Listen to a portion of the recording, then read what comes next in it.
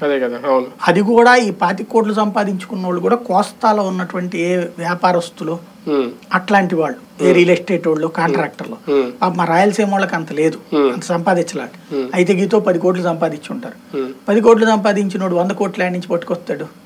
కానీ లోకేష్ గారి యాత్ర విషయంలో సమయం అయితే మించిపోలేదు. ఇంకా చాలా రోజులు ఉంది చాలా కిలోమీటర్లు ఉంది ఇమీడియట్గా ఇప్పుడైనా ఏమన్నా వ్యూహం మార్చుకొని ఆయన ఇంకా బాగా ప్రిపేర్ చేసి టీడీపీ సపోర్ట్ చేస్తే బాగుంటుందా? లేదు ఇలా కంటిన్యూ అయితే ఇప్పటికే అంటే శ్రేణుల్లో జోష్ తగ్గిపోతుంది నీరు గారిపోతున్నారు. అదే అదే కనుక జరిగితే ప్రమాదమే కదా పార్టీకి. నేను చెప్పాను కదా తెలుగుదేశం వాళ్ళు కోపంతో కాకుండా మనది గనక ప్రేమతో చూడగలిగితే ఈ సలహాలు వినగలిగితే. బాగుపడతారు. రెండు వేల పద్దెనిమిదో సంవత్సరం నేను చెప్పా ఉమ్, తెలంగాణలో పోటీ చేయడం ఆత్మహత్య సదృశ్యం.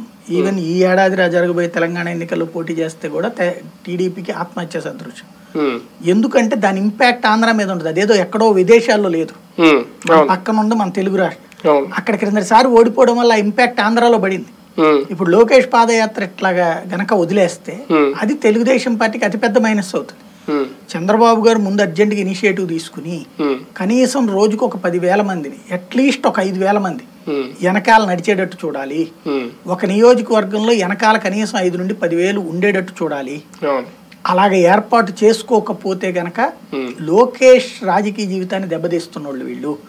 తెలుగుదేశం భవిష్యత్తును కూడా అంటే లోకేష్ని దెబ్బతీయడం అంటే తెలుగుదేశం భవిష్యత్తును దెబ్బతీస్తున్నోళ్ళు. భవిష్యత్తులో కూడా లోకేష్కి అవకాశం దెబ్బ క్లోజ్ అవుతుంది. అది ఇదే గుర్తుపెట్టుకోవాలి. లాస్ట్ అవుతుంది చంద్రబాబు గారు తన కొడుకు కోసం అనినే కాదు తెలుగుదేశం పార్టీ బాగు కోసం కూడా ఈ సీరియస్ ఎఫర్ట్ పెట్టాలి ఆయన. రైట్ చూద్దాం. నారా లోకేష్ గారి యాత్రతో ఒక రకంగా జోష్ పెరగాలి పార్టీ శ్రేణులు ఇంకా ఉత్సాహం పెరగాలి. ఆయన వెనక ఆయన అడుగులు అడుగులు వేయాలి. కానీ అది కనిపించట్లేనట్టుగానే ఉంది. ఇన్ని రోజులు యాత్ర చూస్తుంటే మరి ముందే